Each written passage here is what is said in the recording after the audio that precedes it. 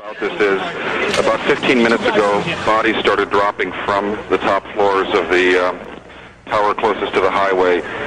About at least five or six, and uh, it was it was absolutely terrible.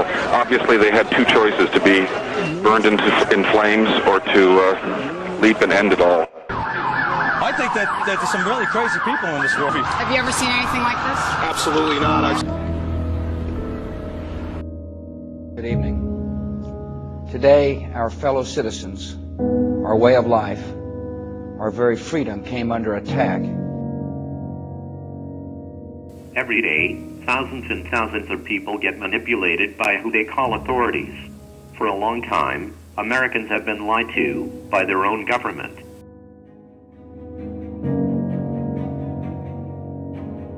All this time, the truth was hidden in a neighborhood like yours.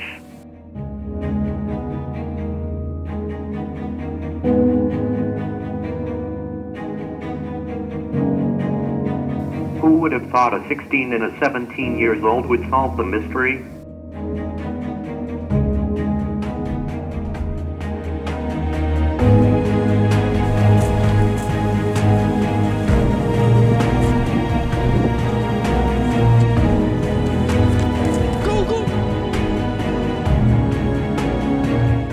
I knew it couldn't be right.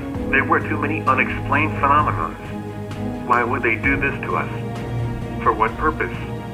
We can't continue to be puppets for the rest of our lives.